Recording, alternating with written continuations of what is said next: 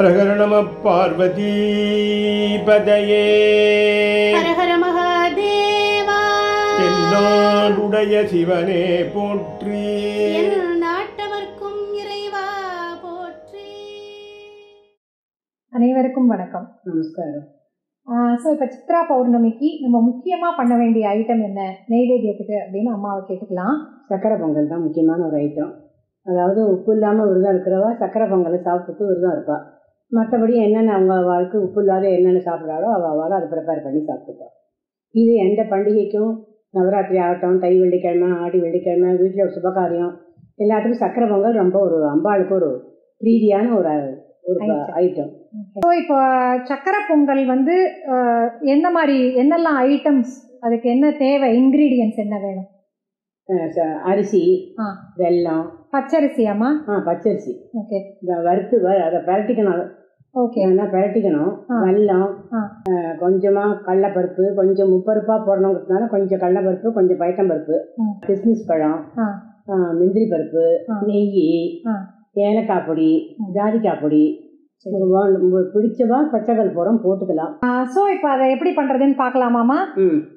So இதுக்கு தேவையான ingredients பச்சரிசி நான் ஒரு டம்ளர் எடுத்து வச்சுட்டுருக்கேன் அதோட மூணு முப்பருப்பாக போடணும்னு சொல்லுவாள் ஸோ கொஞ்சம் பயத்தம்பருப்பு அண்ட் கடலைப்பருப்பு ஒரு டம்ளர் அரிசிக்கு நான் வந்து ரெண்டு டம்ளர் வெல்லம் எடுத்துட்டுருக்கேன் இருக்கேன் முந்திரி பருப்பு உடச்சி வச்சுருக்கு.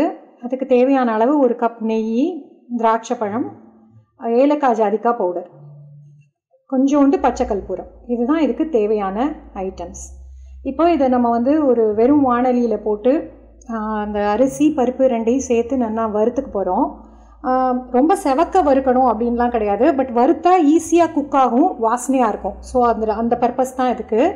ஸோ ஒரு அளவுக்கு அந்த வறுபடுற வாசனை நம்மளுக்கு தெரிஞ்ச உடனே நம்ம இதை we can just remove it from fire நல்லா வாஷ் பண்ணிவிட்டு அதுக்கப்புறமா நம்ம ரெகுலராக குக்கரில் வச்சு எப்படி நம்ம வந்து சாதம் வெடிப்போமோ அது மாதிரி வெடிக்க போகிறோம் ஸோ இது கொஞ்சம் ஆறினை விட்டு நல்லா தண்ணியை விட்டு களைஞ்சு க்ளீன் பண்ணிக்கோங்க.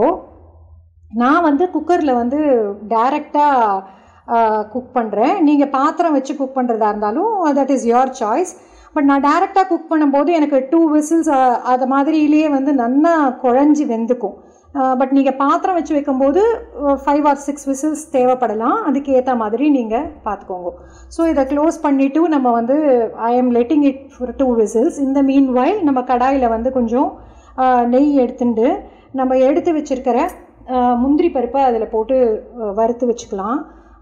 ஸோ ஏர்லியர் வீடியோஸில் சொன்ன மாதிரி ரொம்ப செவக்க வறுக்கக்கூடாது ரொம்ப செவக்க வறுத்தாக்க முந்திரி பருப்பு வந்து கசக்க ஆரம்பிச்சிடும் ஸோ ஒரு மாதிரி கோல்டன் ப்ரௌன் கலர் வரும்போது அதை நீங்கள் வந்து வறுத்து ரிமூவ் பண்ணி வச்சுக்கோங்க. அதே நெய்யில் நம்ம வந்து எடுத்து வச்சுட்டுருக்கிற திராட்சை பழத்தையும் போட்டு வறுத்துக்கலாம். இது ரெண்டையும் வறுத்து நம்ம எடுத்து வச்சுக்கலாம்.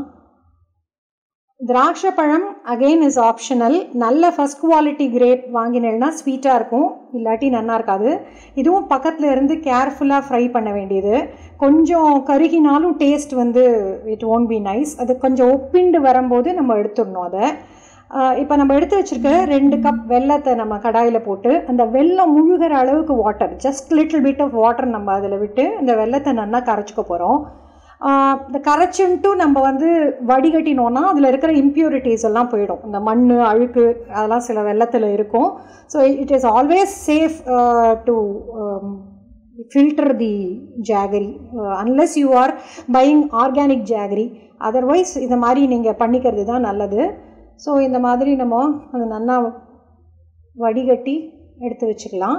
அதுக்குள்ளே பார்த்தீங்கன்னா நம்மளுக்கு இந்த குக்கரில் வந்து ரைஸ் அண்ட் பருப்பு நம்ம போட்டோம் இல்லையா? நல்லா குக் ஆகிடுது ஸோ இதை நல்லா மசிச்சுடணும் மசிச்சு விடணும். இந்த குழந்தைகளுக்கெல்லாம் நம்ம சாப்பாடு விடுறதுக்கு எவ்வளோ மசிப்போம்? அந்த அளவுக்கு அதை நீங்கள் மசிச்சுட்டேன்னா திருப்பி நம்ம வெள்ளத்தோட பாகை அதில் விடுறம்போது என்னாகும்? இந்த என் அம்மாலாம் அதுக்கு மூழ்ச்சிக்கிறது அப்படின்னு சொல்லுவாள் அது மூழ்ச்சிக்கும் அப்படின்னு சொல்லுவாள் ஸோ அந்த மாதிரி ஆகும். கொஞ்சம் திருப்பி வந்து அன்குக்குடு மாதிரி ஆகிடும் அதனால் நல்லா மசிச்சுன்ட்டு நம்ம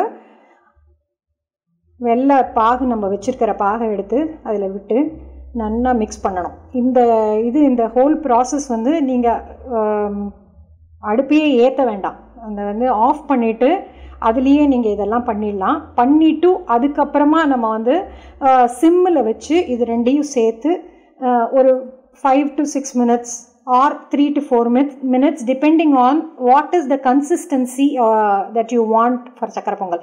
கொஞ்சம் தள வேணுங்கிறவா கொஞ்சம் நாழி அதிகமாக கம் கம்மியாக குக் பண்ணலாம். கொஞ்சம் நல்லா கெட்டியாக வேணுங்கிறவா கொஞ்சம் நிறையா நாழி குக் பண்ணலாம்.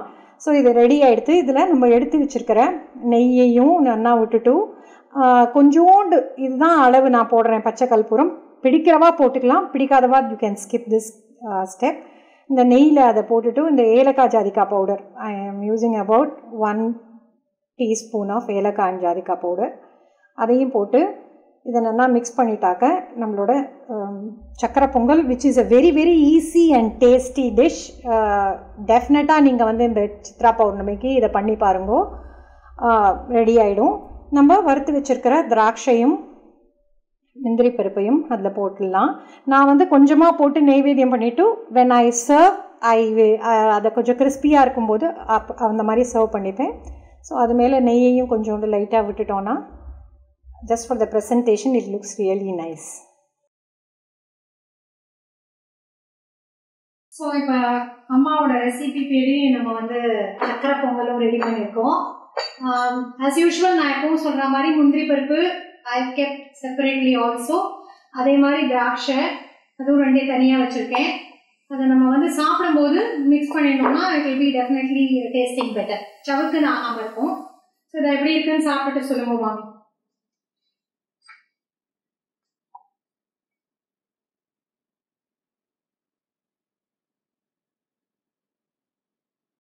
பிரமாதம் சூப்பராக இருக்கு. Thank you so much thanks for வாட்சிங் இதுவும் நீங்கள் கண்டிப்பாக ட்ரை பண்ணுங்க. You will like it it's a very simple method that we have done it this time so கண்டிப்பாக without fail make and see how you like it continue to support us so do like share and subscribe to our YouTube channel Thirumurai Amudham thank you.